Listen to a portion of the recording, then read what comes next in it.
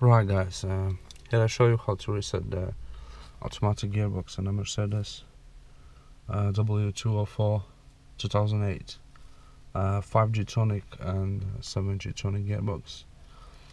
So it's quite quite easy um, all you need to get your key so this key put in ignition turn the ignition on but don't start your car. So all your lights should come on. Press the accelerator pedal to the maximum.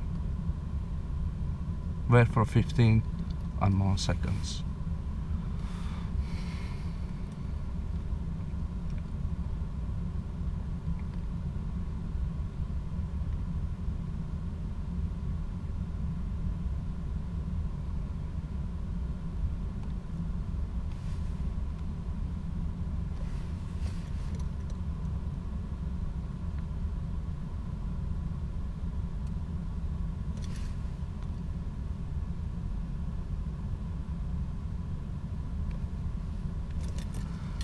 Right, and that's a little bit more than 15 seconds then.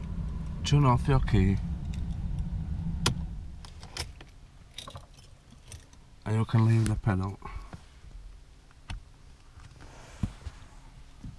And now just don't do anything at all. Just don't open your windows, don't open your doors or turn on the radio.